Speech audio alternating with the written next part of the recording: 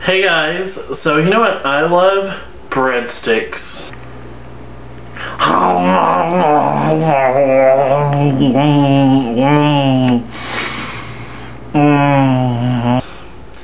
Sexy. You know what else I like? I like chocolate chip coins. Mm.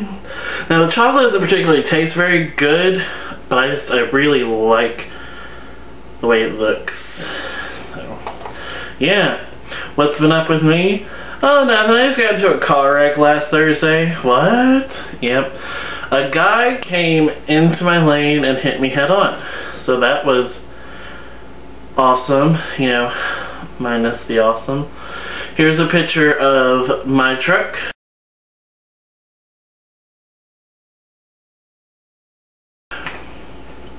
And now here's a picture of his truck.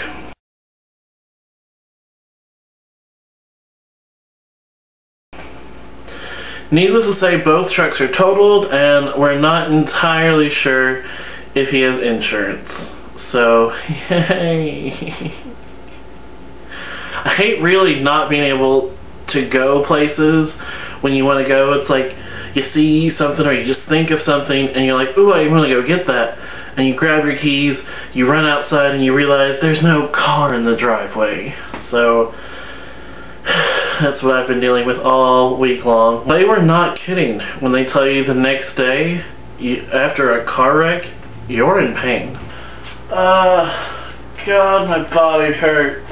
Uh, uh, uh, uh, uh, oh, my body hurts.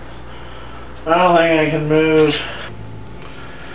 So yeah, that's pretty much what I've been up to. That in school, I've been up to some pretty interesting things at school. I made a commercial for a fictitious scuba club. I wrote an article on my school's improv pro performances.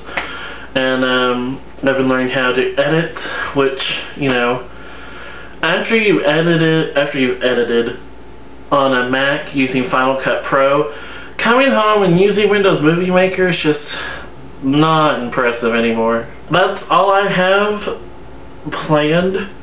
Uh, there is just one more thing I want to tell you about, about Kyle's vlog every day in spring break, which will be happening uh, next week. I will be making a video from the 7th to the 14th pretty much every day, vlogging, whether they're funny, whether they're not funny, you'll get a video You'll get seven new videos next week, so be prepared for Kyle's spring break vlogs because I'm not like a normal 22 year old. I'm not going to Miami or Key West or Mexico. I have a feeling Key West might be near Mexico or in Mexico.